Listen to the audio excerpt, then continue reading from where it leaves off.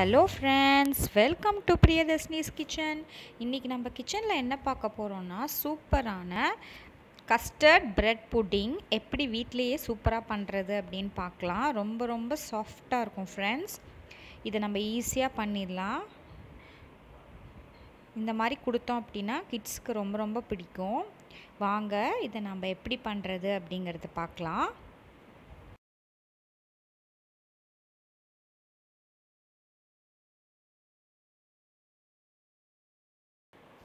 அதுக்கு நான் வந்து ஆறு ஸ்லைஸ் அளவுக்கு நான் வந்து மில்க் ப்ரெட் எடுத்திருக்கேன். எந்த ப்ரெட் வேணாலும் எடுத்துக்கலாம். இப்போ இதை நம்ம சைட்ஸை வந்து எல்லாத்தையுமே நம்ம கட் பண்ணி எடுத்துக்கலாம். கட் பண்ணி எடுத்துட்டு இதை நம்ம வந்து க்யூப்ஸாக கட் பண்ணிக்கலாம். ஏன்னா நம்ம மிக்சியில் போட்டு பொடி பண்ண போகிறோம் அப்போ வந்து நல்லா நைஸ் ஸ்மூத்தாக கிடைக்கும் அதுக்கு தான். இப்போ இந்த மாதிரி நம்ம பொடி பண்ணிக்கலாம். ஒரு மிக்சி ஜார் எடுத்து நம்ம கட் பண்ண ப்ரெட் க்யூப்ஸை ஆட் பண்ணிக்கலாம். சும்மா வந்து ரெண்டு ஓட்டு ஓட்டினாலே இந்த மாதிரி உதிரி உதிராக வந்துடும் இப்போ அடுப்பில் ஒரு வானொலி போட்டுக்கலாம். அதில் நான் கால் கப் அளவுக்கு சுகர் ஆட் பண்ணியிருக்கேன் இதை நம்ம கேரமலைஸ் பண்ண போகிறோம் இதுதான் இம்பார்ட்டன்ட் ஸ்டெப்பு இதுலேயே. ஏன்னா கேரமல் ப்ரெட் புட்டிங் தான் பண்ணுறோம் இல்லையா? அதனால. இப்போது இது நல்லா வந்து ஸ்விம்மில் வச்சு பண்ணுங்கள் அஞ்சு நிமிஷத்தில் நம்ம சர்க்கரை நல்லா உருகி தர மாறிடும். இப்போ அடுப்பை ஆஃப் பண்ணிடலாம்.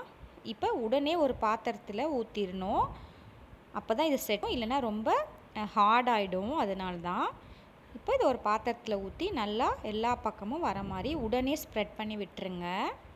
இன்ச் வரைக்கும் இருக்கிற டின் எடுத்திருக்கேன். ஒரு பாத்திரம். நீங்கள் எது வேணாலும் எடுத்துக்கலாம். நான் வந்து கஸ்டர்ட் பவுடர் வச்சுருக்கேன் வீட்டில் வெண்ணிலா ஃப்ளேவர் அது ஒரு கால் கப் அளவுக்கு எடுத்துக்கலாம்.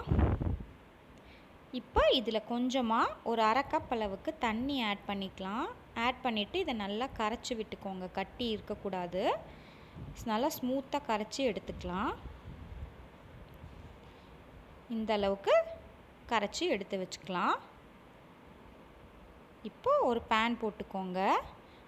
ஒரு இப்போது நான் வந்து பால் ஆட் பண்ண போகிறேன் இது செய்யறதுக்கு ஒன்றரை கப் அளவுக்கு பால் தேவும் காய்ச்சாத பால் தான் எடுத்திருக்கேன். ஒன்றரை கப் அளவுக்கு எடுத்துக்கோங்க.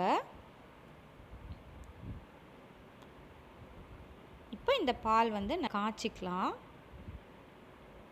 மீடியம் ஃப்ளேமில் வச்சு நல்லா காய்ச்சி விட.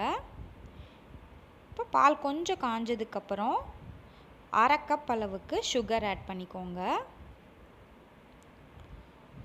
சுகர் வந்து நல்லா கரையணும். ஒன்றரை கப் பாலுக்கு அரை கப் சுகர் வந்து சரியாக இருக்கும். பால் வந்து கொஞ்சம் சுண்டுனதுக்கப்புறமா நாம் கரைச்சி வச்சுருக்கிற கஸ்டர்ட் பவுடர் இருக்கு இல்லையா அது ஆட் பண்ணிக்கலாம். அடுப்பை கொஞ்சம் மீடியம் ஃப்ளேமில் வச்சு ஆட் பண்ணிக்கோங்க. கஸ்டர்ட் பவுடர் ஆட் பண்ணதுக்கப்புறம் கைவிடாமல் கலரணும். இல்லைன்னா வந்து கட்டி கட்டியாக ஆகிடும் கெட்டியாக ஆரம்பிச்சிரும். அதனால தான் இந்த அளவுக்கு நல்லா கலரி எடுத்துக்கோங்க. ஒரு அஞ்சு நிமிஷத்துலேயே பார்த்தீங்கன்னா இந்த மாதிரி ஃப்ளோயிங் கன்சிஸ்டன்சி வந்துடும் பண்ணுறோன்னா நம்ம அரைச்சி வச்சுருக்கிற ப்ரெட்டு துண்டு இருக்கு இல்லையா? ஸோ அதை கொஞ்சம் கொஞ்சமாக கொஞ்சம் கொஞ்சமாக ஆட் பண்ணிக்கலாம். ஆட் பண்ணி ஆட் பண்ணி கலரி விட்டுக்கிட்டே இருங்க. அப்போ தான் அது எல்லாத்தையுமே அப்சர்வ் பண்ணிக்கும் அதனால தான் ஒரு நாலு நாலு ஸ்பூனாக போட்டு நம்ம அரைச்சி வச்சுருக்கிற ஆறு ஸ்லைஸ் ப்ரெட்டையும் கொஞ்சம் கொஞ்சமாக ஆட் பண்ணி கலரிக்கோங்க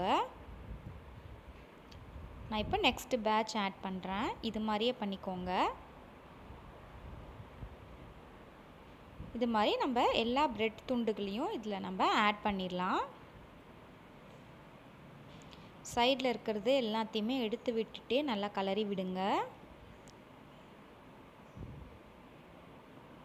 நான் வந்து ஆறு ஸ்லைஸ் ப்ரெட்டை நாலு பேட்சாக போட்டு கலரி எடுத்திருக்கேன்.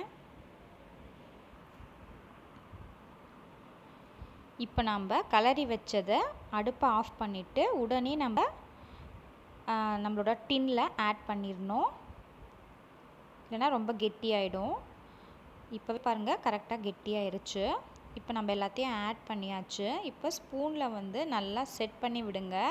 மேலெல்லாம் நல்லா ஸ்மூத்தாக இருக்கிற மாதிரி ஸ்பூனுக்கு பின்னாடி வச்சு நல்லா அமுத்தி விட்டுக்கலாம். இந்த மாதிரி லெவல் பண்ணி கரெக்டாக அமுத்தி எடுத்துக்கலாம்.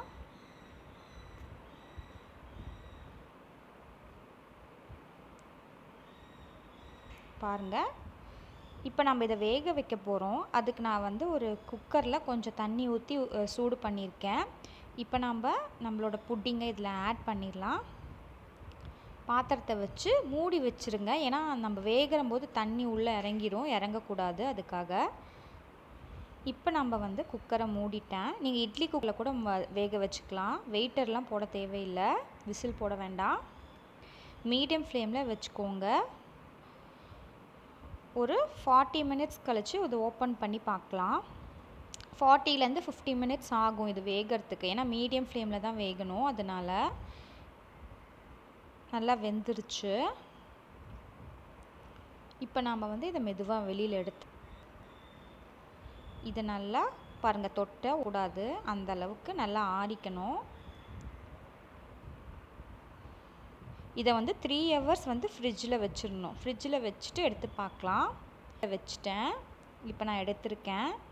பாருங்கள் நல்லா நம்மளோட புட்டிங் வந்து செட் ஆகிடுச்சு ஃபஸ்ட்டு நம்ம கத்தி வச்சு ஓரத்தெல்லாம் எடுத்து அப்போ நம்ம தட்டில் கொட்டும் போது கரெக்டாக விழுந்துடும் அதுக்காக. இதை எடுத்து பிளேட் வச்சு அதை நம்ம போட்டு இதை கவுத்துலாம் நல்லா தட்டி விட்டுக்கோங்க. அவ்வளோதான் ஃப்ரெண்ட்ஸ் சூப்பரான க்ரீமியான சாஃப்டான நம்மளோட ப்ரெட் ரெடி ஆகிடுச்சு இதை நீங்கள் உங்கள் வீட்டில் பாருங்கள் பார்த்துட்டு உங்களோட கமெண்ட்ஸை ஷேர் பண்ணுங்கள் பிடிச்சிருந்தா நம்ம சேனலை சப்ஸ்கிரைப் பண்ணுங்கள்